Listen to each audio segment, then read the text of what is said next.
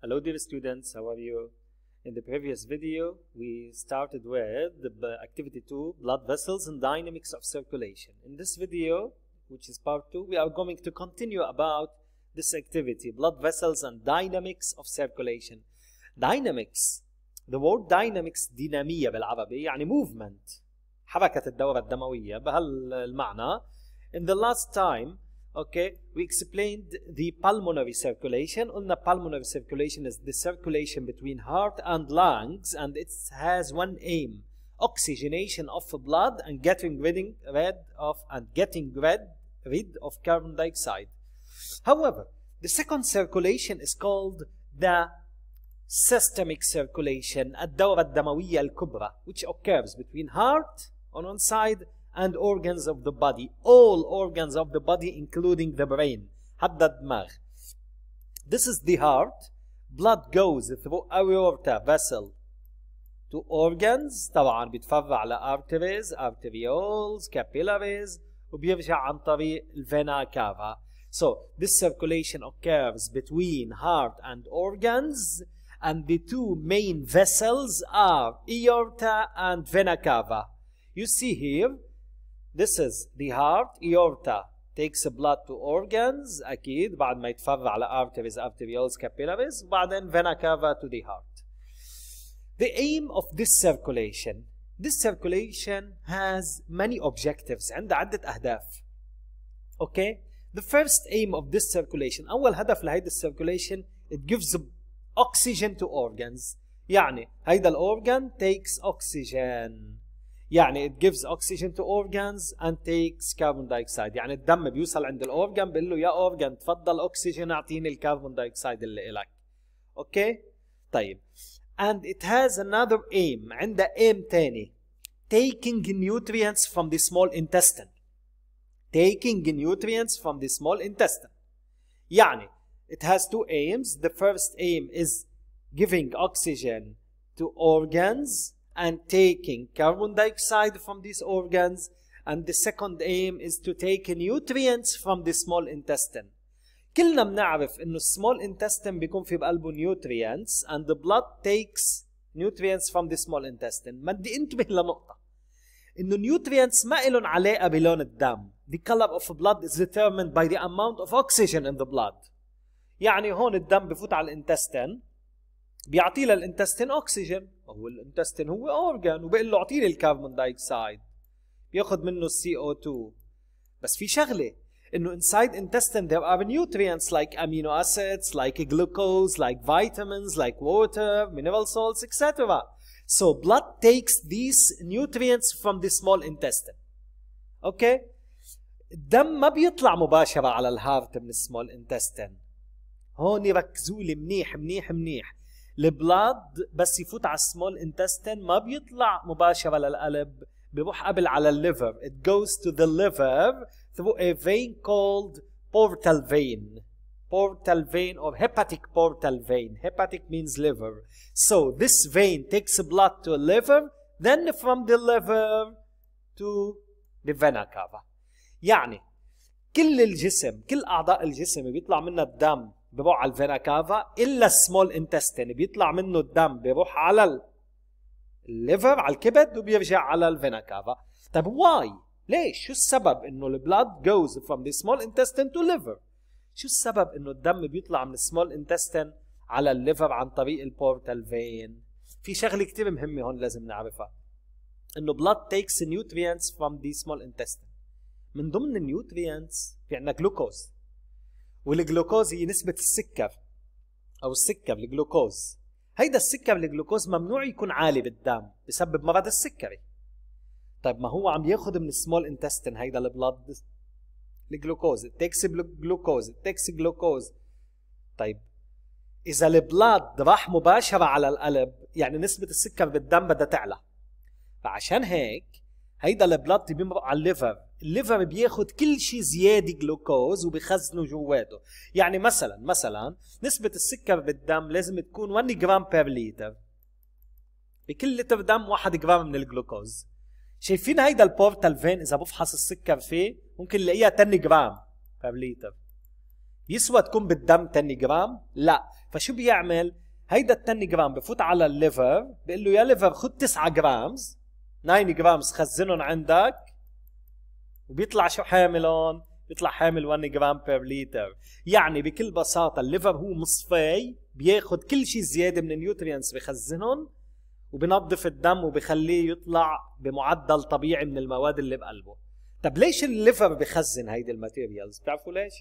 لأنه إذا واحد مش ماكل له فترة طويلة بلا أكل بصير ال liver هو يعطي جلوكوز. يقول لهم خذوا جلوكوز يا blood. okay؟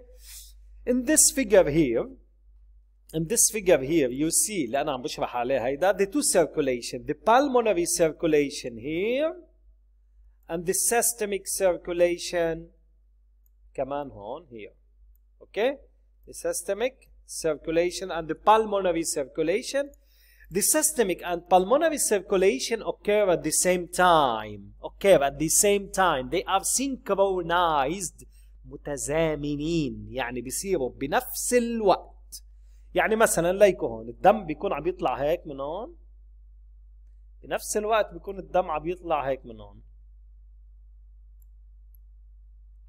بيكون الدم هلأ عم يرجع هون هيك بيكون الدم هلأ هون عم يرجع هيك. Okay? So they occur at the same time. The two circulations occur at the same time. In this video here you see the movement of blood. لاحظوا الدم كيف اجى على two auricles. auricular systole نزل لتحت. ventricular systole طلع بمين؟ بالإيورتا وبال this is cardiac cycle. Again auricular systole نزل ال blood ventricular systole sigmoid valve. لاحظوا هون تعال ناخذ هون. okay هلأ ال auricles will be filled general diastole هيدي. auricular systole فتحوا ال tricuspid valve ال sigmoid valve فتحوا بيطلع الدم. نفس الشيء بالجهة الثانية. جاي ال blood على ال auricles general diastole auricular systole ventricular systole الحقوا الدم كيف عم يمشي. okay this is the uh, cardiac cycle. You see here in this video this is the heart is pumping. لاحظوا ال blood هون. تعال ناخذ ال blood هون ليكوا ال blood هون.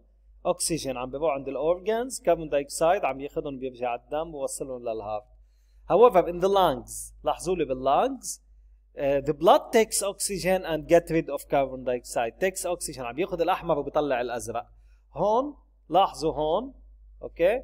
لاحظوا هون بال brain ال brain عم ياخذ الأحمر يعني عم ياخذ الأكسجين وال nutrients وعم بيعطي لها ال blood بال carbon dioxide طبعا حركة الدم راجعة على القلب. دم أحمر هيك وراجع هيك على ال heart okay؟ However here see the circulation.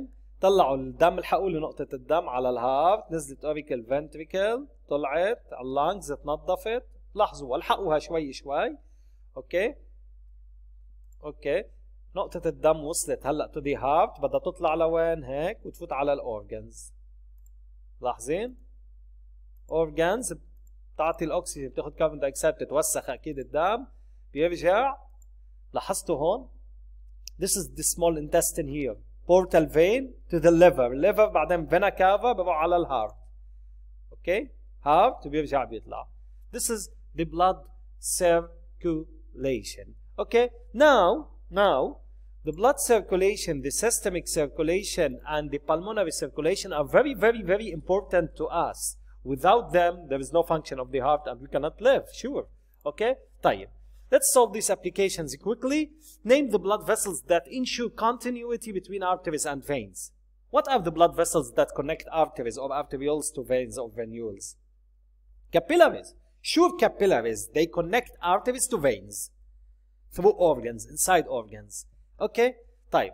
Find the characteristics of blood vessels that favor or facilitate the exchange between blood and organ. شو خصائصهم لل capillaries اللي بتسهل عملية التبادل بينهم وبين الأعضاء؟ They have thin blood thin wall sorry blood vessels ال capillaries عندهم thin wall جدارهم رقيق بيسمح للأكسجين وال nutrients يمرق من خلالهم and the blood moves slowly through them. الدم كتير بيمرق ببطء بالأوعية الدموية اللي اسمهم شعيرات دموية ال capillaries ليش؟ لحتى يقدروا يتبادلوا. يعني أنت هلأ إذا واحد مثلا في عندك truck مارق وأنت واقف على البرندة على البلكون برا مثلا وبدك تكب آه، بول طابي بقلب ال truck قلب الشحن. إذا مرق بسرعة وكبيتها ممكن ما تنزل فيه. إنما إذا مرق ببطء تقدر تكب بقلبه. فإذا ال blood vessels capillaries بيكون مارق ال blood فيهم على أقل من مهله بيقدر يعمل exchange indicate the pathway of blood that leaves the ventricle and returns to the same ventricle. What can you conclude? okay فإذا أنا بدي أنا بدي ألحق الدم اللي طلع من ال ventricle left ventricle ونرجع لعنده. okay left ventricle ونرجع لعنده لهيدا ال left ventricle تعال نشوف أنا وياكم هيدا ال blood اللي راح على ال left من ال left ventricle ورجع لعنده هون أوكي؟ This is the left ventricle. Left ventricle. Aorta artery. Arteries. Arterioles. Capillaries. Organs. Venules. Capillaries بقلب ال organs venules. Vein. Vena cava. بعد ال vena cava لوين بيروح عند ال right auricle right auricle عند ال right ventricle. Right ventricle. Pulmonary artery. Pulmonary artery عند ال lungs من ال lungs بيرجع. Pulmonary vein. Pulmonary vein عند ال left auricle left auricle left ventricle. يعني على الشكل التالي. okay من هون طلع طلع طلع. شايفين كيف؟ سميت كل المراحل. نزل هيك طلع هيك ورجعت الدم لهون. What do you conclude? We conclude that blood moves in a closed circulation, in a closed circuit. يعني أنا هلأ إذا عندي إذا عندي شريط كهرباء بحطه بالكهرباء وحطه باللمبة بتضوي اللمبة، إذا قطعت الشريط بطل ضوي اللمبة لأنه closed circuit. okay؟ في circuit closed مسكر هون، أنا إذا الدم ما كان closed بصير ينزف الإنسان. okay؟ طيب. Based on the old lesson indicate the function of blood. Easy. transport of gases and nutrients. Okay, blood transports gases and nutrients. Look here. Astonishing numbers. اشياء غريبة شوي نعرفها. Okay. The heart beats 2.5 billion times 2.5 مليار مرة خلال حياة شخص عمره 75 سنة. رقم ضخم كتير القلب بدق. Okay. If the red blood cells from one person were to be stacked in the sky, they will reach 31,000 miles. حوالي ال 45 ألف كيلو متر إذا كريات الدم الحمراء حطيناهم فوق بعضهم. تخيلوا قد إيه عددهم. رهيب. أوكي؟ Each red blood cells have 270 million hemoglobin molecules. Each hemoglobin molecules carry 4 oxygen molecules. كل كرة دم حمراء واحدة عليها 270 مليون hemoglobin. أوكي؟ طيب. Each second we lose about 3 million red blood cells only to be replaced by the same number produced in the bone marrow. كل آه second بنخسر 3 مليون red blood cell كرة دم حمراء وبيطلع بدالهم أكيد. من ال bone marrow لب العظم أو نقي العظم. The total surface area of capillaries is about 6000 meters square. مساحة أوعيتنا الدموية كمساحة 6000 متر متر مربع، نحن أتخن بيت عندنا بيكون مساحته 200 متر مربع. أوكي؟ The length of a human blood vessels, if they are stretches, is more than 60,000 miles. تخيلوا الرقم حوالي 90,000 كيلو متر. إذا الأوعية الدموية وصلتهم كلهم ببعضهم عند الإنسان بلف الكرة الأرضية فيهم. Okay? So, uh, these all, uh, this is all about the uh, blood vessels and dynamics of circulation. In the next activity, inshallah, we are going to talk about the cardiac diseases or cardiovascular accidents, أمراض القلب والشرايين. Okay, see you in the next video, inshallah. And you, if you have any question, just leave it in the comments.